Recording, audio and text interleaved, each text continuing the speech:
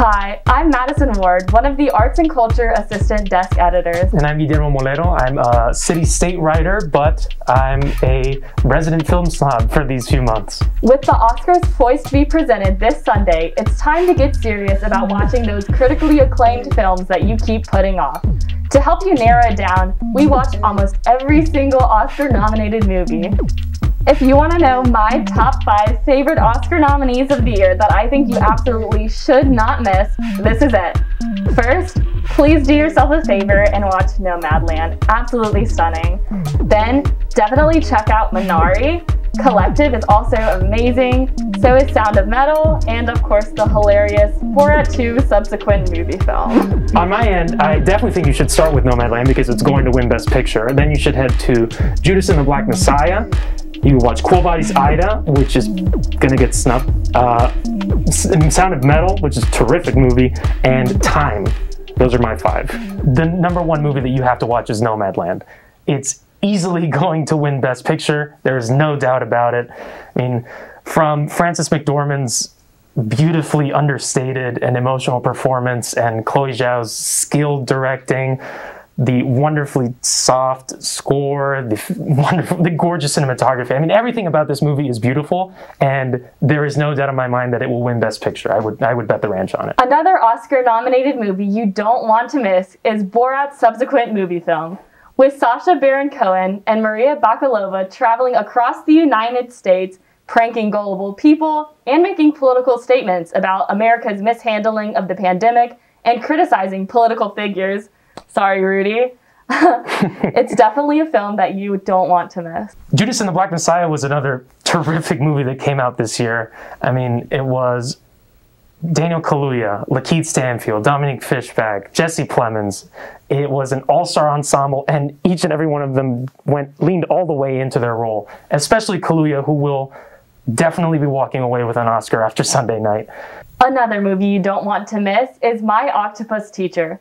Following a diver who films an octopus's life who lives in a South American kelp forest, this is a wholesome, entertaining story that shows the connection between man and nature in a beautiful, powerfully told way. I'm gonna I'm gonna cheat here and I'm gonna do three movies instead of one because I think there's just too there are too many good movies to watch. So I'll start with Quo Vadis Aida, which is a gut punch of a movie. It just tremendously emotional and very intense about the Srebrenica massacre in Bosnia and uh, a mother working as a UN translator who will do anything to save her family from the Bosnian Serb forces. I think that uh, Jasna did a terrific job as the lead, and if you do not cry by the end of the movie, you are not human. Second movie, Time, brilliant documentary about the criminal justice system and race and the role that that plays in the United States.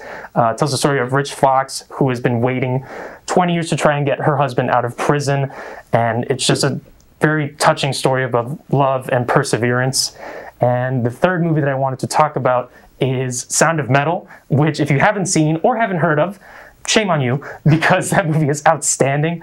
I mean, the the way that sound is used in that movie is something I've never seen before. It's very unique and it's just telling the story of a heavy metal drummer that's coping with becoming deaf and his mentor who helps him sort of go through that, but the way they use sound there is really impressive.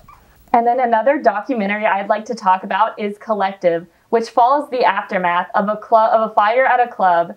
It's an incredible foreign film that shows government corruption, how people handle situations like this, and they found out the truth about what was really going on afterwards. There were so many movies this year, so many great movies released this year, and you can kind of tell that the Academy missed out on a few, like Never Rarely, Sometimes Always, we were mm-hmm. talking about earlier. Um, Palm Springs, I think they missed out on that. Dick Johnson is dead.